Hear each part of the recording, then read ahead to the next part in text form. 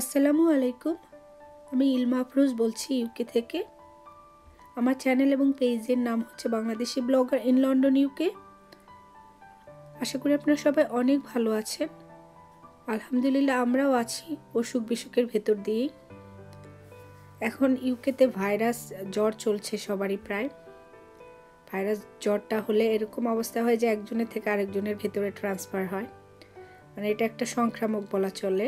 সিজনটা যেহেতু ভালো না, বাইরে ঠান্ডা এবং বৃষ্টি আর হচ্ছে বাচ্চাদের স্কুল থেকে বাচ্চারা জ্বর নিয়ে আসছে।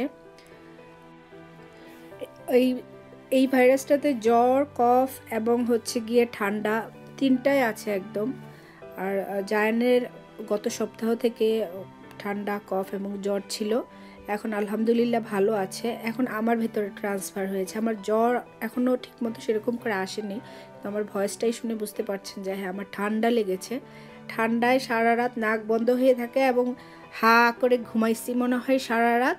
তারপরে সকালবেলা উঠে নিজের জিব্বাই মনে হচ্ছে যে পাঁচ কেজি ওজন ভারী হয়ে হয়ে গেছে একদম। মানে এত ড্রাই হয়ে গেছে। মানে চরম বিপদের মধ্যে আছে সব কিছু মিলিয়ে।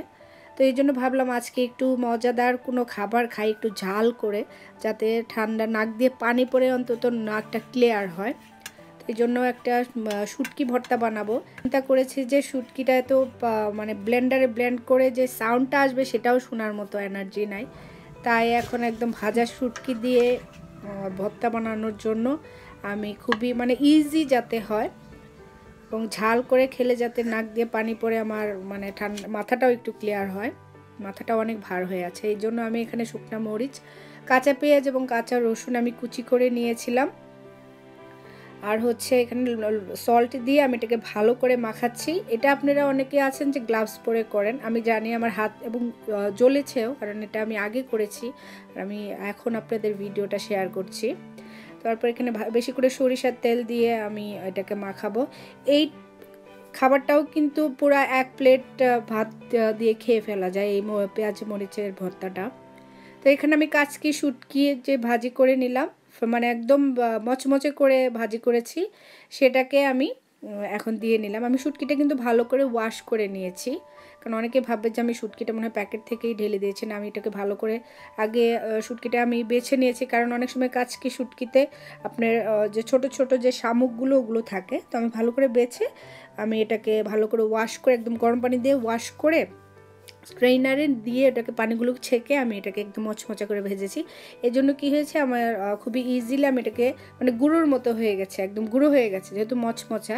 তো এটা আপনি অনেকে হচ্ছে গ্লাভস পরেও করবে, আমি যেহেতু গ্লাভস ইউজ করিনি আমি আসলে, আমি নিজেই আমার ফ্যামিলির জন্য করেছি এই জন্য আসলে আমি এত নর্মাল যে জিনিস আমি সেটাই দেখাই, আমি এত গ্লাভস পরে একদম খুবই প্রস্তুতি নিয়ে ভিডিও করি না।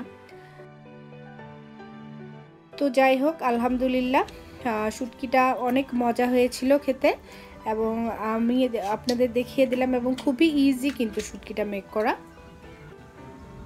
আপনারা বাসায় এটা মেক করে খেতে পারেন, কারণ অনেকেই আছেন হচ্ছে শুটকি খুবই পছন্দ করেন, কিন্তু কেউ পাটায় বাটতে হবে কিংবা ব্লেন্ডারে ব্লেন্ড করে এই ঝামেলা। আর সবচেয়ে বড় কথা কি, শুটকি রান্না করতে গেলে শুটকির একটা স্মেল থাকে, সেটার জন্য কিন্তু অনেকদিন পর পর শুটকি খাওয়া হয়। তো আশা করি আপনারা এটা ট্রাই করবেন। আজকে তাহলে এই পর্যন্তই।